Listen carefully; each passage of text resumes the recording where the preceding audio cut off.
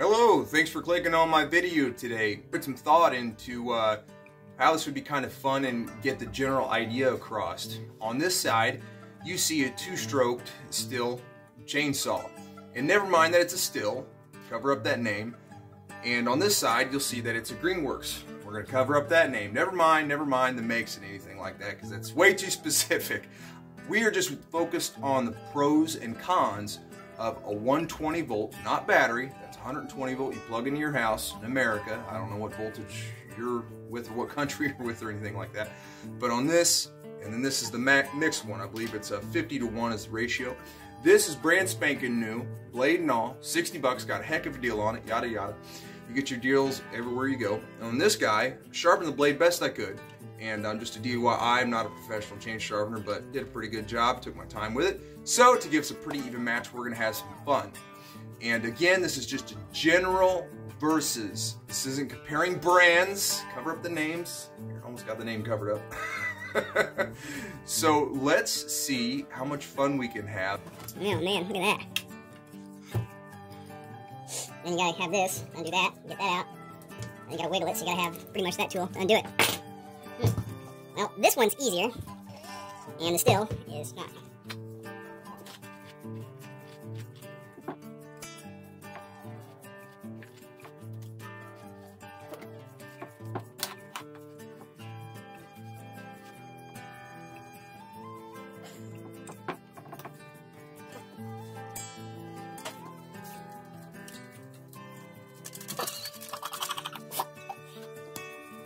I got name. What to do? Mix oil. Yeah! Jesus Christ. You really don't need that right there. Just actually hand. Pop right off. I don't need that. Okay, this is pure good chain lube oil. This is not engine oil that's used at all. This is meant for this sort of thing. Bye-bye! Viscosity is important. Too thin, it'll run out. Too thick, it won't lube the chain. Oh, goodness. This is totally economical friendly. Oh, God. On this one, the gas, you have the time to go. yim, yim, yim, yim. Brake. Won't spin. But on this guy, that doesn't have that. It's all for looks. It's just a guard.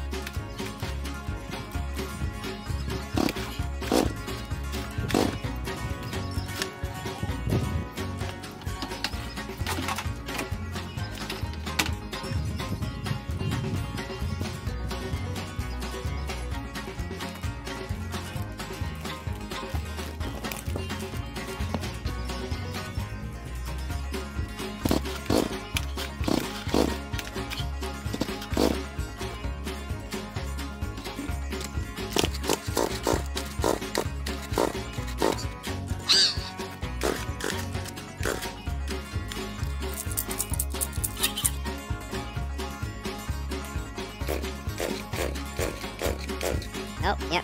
Per gallon. There we go. Had to go back to a symmetry class. Oh, excuse me. Chemistry class, not symmetry class, yeah.